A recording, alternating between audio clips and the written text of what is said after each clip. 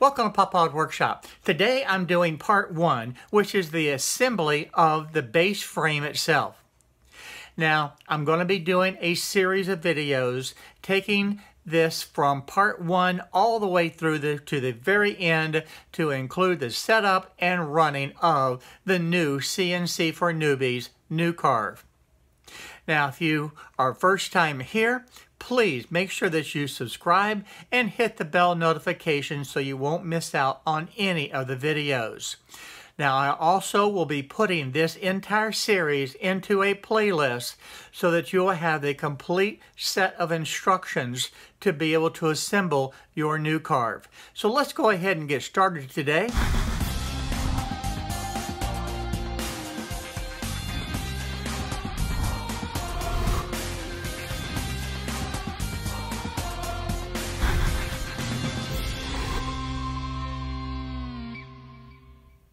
It's time to start to assemble the NEW-Carve.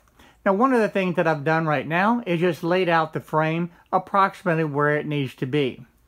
Now, they provide the instructions, and it's in the format of mechanical drawings. So you can see this is the actual frame where all the nuts and bolts go and shows the exact layout. The next paper that they provide is for the wasteboard itself. They tell exactly where the holes need to be drilled, how large they need to be, and exactly the position of them. And then this is just an overall view that shows the assembled wasteboard onto the frame. This one's really not that important, but the other two are certainly very important to be able to follow. Along with that, I have two bags of parts. The first bag is for the wasteboard fasteners, and the second bag is all of the corners to be able to assemble this frame. The first thing that I like to do is to take all of the corner brackets and the parts that I'm going to be working with and actually position it where they need to be. So that you can see all of the corner brackets are all positioned where they need to be with the corresponding nuts and the screws to be able to go into it. So now I know that all the parts are here, I can go ahead and move on to the next step and actually put them on to the frame itself. The tool that I'm using for this is a 3 millimeter uh, Allen wrench. Now typically I use the T-handle, but that just did not work well, so I just switched over to the regular Allen wrench. And again, this is 3 millimeters. Now these little nuts are actually very easy to work with with these screws because you can just slip them right in place. And then there's two sides. The side with the little teeth on here, that's actually the side that you get to screw on to it.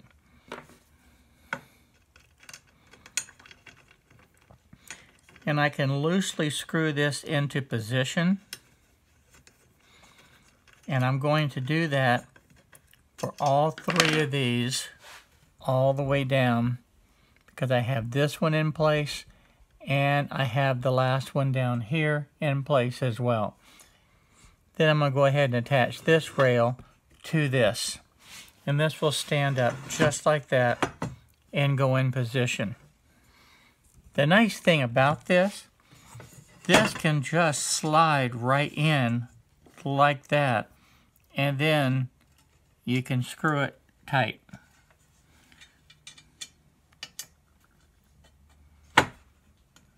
Now I'm just loosely tightening this right now because everything here is going to have to be adjusted. I'm going to move over and do the same thing with this one.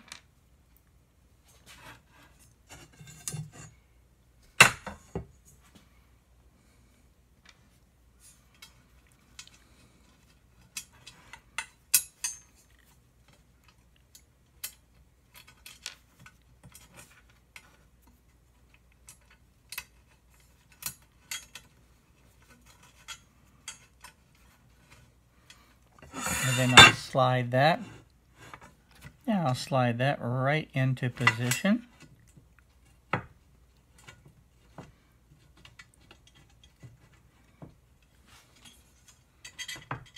There we go.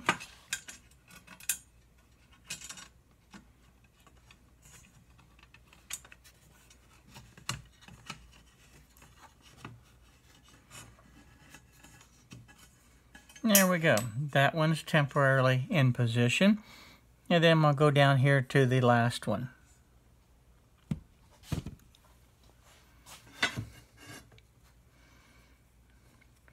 Just going to slip the screw through here. Make sure the nut is oriented correctly. Now if I had to do this again, with my big fingers, I would actually put all of these screws and nuts onto the corner bracket first and then slide them in place. It would actually be a lot easier to do that way. There we go. Then I'm going to slip this on, slide that rail right into position.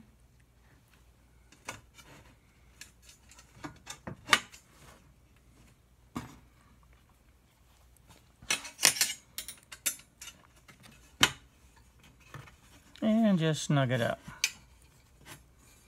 There we go. Now again, this is just loosely done because that's going to have to move over. In fact, we can go ahead and move that a little bit right now and get it at least closer.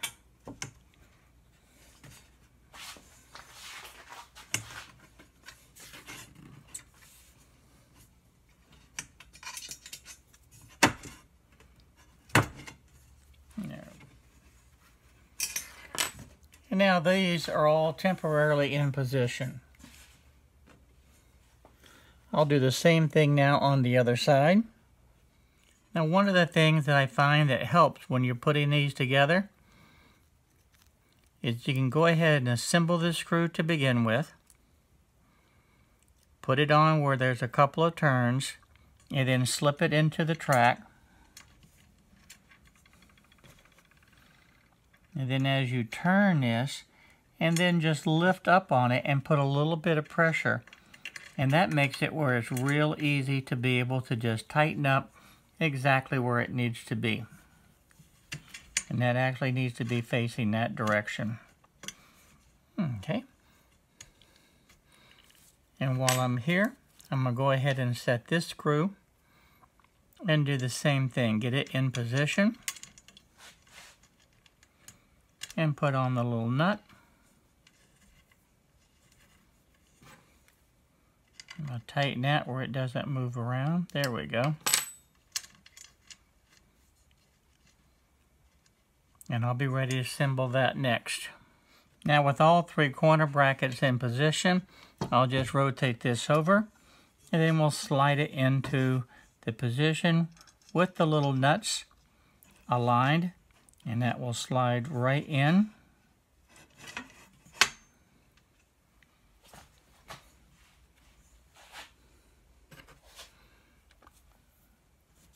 Then I'll be able to tighten that up.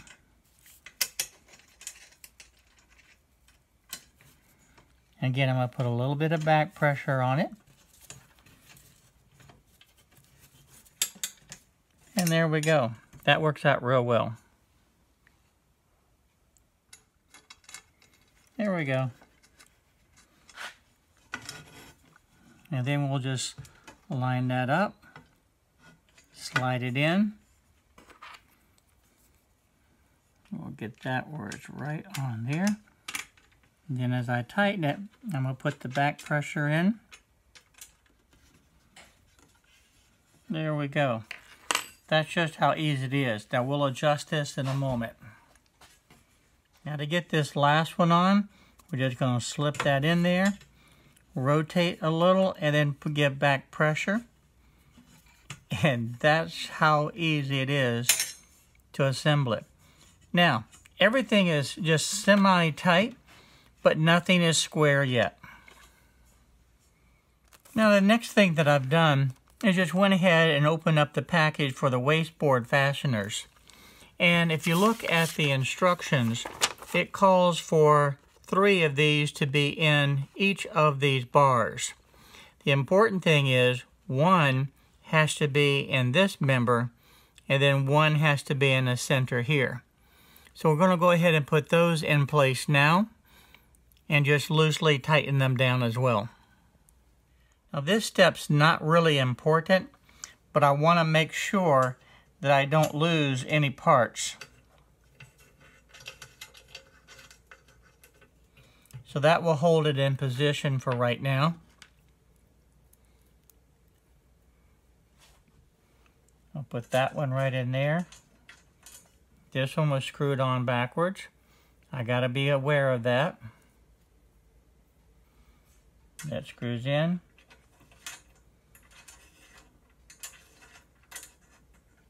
And there we go. Now I'm to go ahead and do that on all of these. Now this is another reason that I like to do this, because this step wasn't really necessary, but what it did is showed that I have one extra screw that I need, but I do not have a little nut. And no nuts have hit the ground. So I'm missing one of the nuts. Now the good thing is I found that I had an extra couple of these little nuts. A little bit different design, but that's okay. That will work just fine. I went ahead and put that in position. So now I know I have all of the parts that I need to be able to put the wasteboard on. The first step in getting this frame square is making sure that this from this outer edge to this pencil mark is 30 millimeters. And that is according to the plans. And I need to do that on all four corners. If you refer back to the plans, it shows right here on this detail A that it has to be 30 millimeters from that outside edge of that rail. Now I have the two outer rails in line, but I need to be able to put the center rail in. So I take a tape measure and I measured the length of that bar and it's 1,000 millimeters. So half of that is going to be the 500 millimeters. So I'll go ahead and line that up and I'll mark that with a pencil right at the 500 millimeter point. Now that I have the center bar exactly where it needs to be, I want to be able to show you that this is exactly on the 30 millimeter point. Now it's very, very important to get this as accurate as you possibly can because that helps make sure that everything is square. Now the pencil marks that I made on here, I made with a very sharp pencil. No dull points here. Again, accuracy is critical and I wanted to make sure that these marks were dead on and that the frame was put together as accurately as I possibly could. Because the next step we're going to have to do is actually make sure that it's actually square. To be able to check for squareness of this base frame, it's imperative that you realize that a frame and square is not necessary. You want to be able to use a tape measure and measure from corner to corner. And you want that measurement to be exactly the same. Now when I measure corner to corner in both directions, my measurement are within less than a half of a millimeter difference between the two measurements. That is good. I, that to me is acceptable, and I am not going to try to make an adjustment for something that's less than a half a millimeter. So this completes the base frame. Everything that is done now is tight, secure, and it is square. The next step is cutting out the wasteboard and installing that. Thank you for watching my video today, and I hope that this video was able to help you understand exactly how to assemble the base frame. Now, please remember I am doing a whole series of videos on being able to assemble the entire NEW-Carve by CNC for newbies. So if you haven't subscribed yet, please go ahead and hit the subscribe button and click the little notification bell so that you'll be notified on all of the videos that I do. Also remember, I'm putting this whole series into a playlist on my channel so that you can be able to refer back to this as you assemble your new carve.